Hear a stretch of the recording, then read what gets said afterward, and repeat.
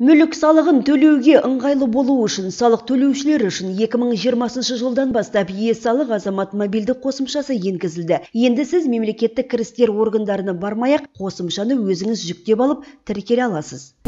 Бұл мобильді қосымша арқылы сіздер салық бойынша борышыңызды төлей аласыз, яғни көлік және мүлік салығын. Егер сіз шетелге шығатын болсаңыз, осы қосымша арқылы саяхаттауға тыйым салынды ма, жоқ па, оны да біле аласыз. Сондай-ақ айыппұл мөлшерін салық декларациясын тапсыра аласыз ал салық әмияны арқылы сіз салық төлемін жасай аласыз. Сондай ақ кері байланыс бар. Егер сізде қандай да бір сұрақ туындаса сауалыңызды жолдап оған жауап алуға мүмкіндігіңіз бар. Сондай-ақ мемлекеттік кірістер басқармасының мамандары кәсіпкерлерге биылғы жылдың басынан е салық бизнес арнайы мобильді қосымшасы арқылы арнайы салық режимі енгізілгені хабарлайды. Ол бизнес процестерді жеңілдетуге арналған.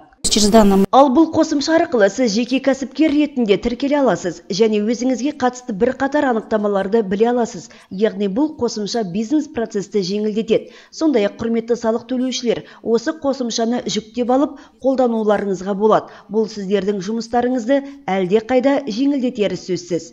Бүгінде халықтың 40 пайызы е салық азамат және е салық бизнес мобильді қосымшаларын пайдаланады.